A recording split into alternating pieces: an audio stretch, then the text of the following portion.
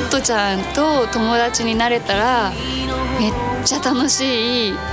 人生かも。トットちゃんが出会った素敵な大人たちみたいになりたいなって。なんか徹子さんにしか分からなかったあの世界観。私たちもああやってアニメーションとして見れるっていうのはすごく贅沢な時間だったので。あなたはそのままでいいっていうメッセージをものすごく美しくて愛らしくて明るく伝えてくれる映画っていう気がします。映画「窓際のトットちゃん」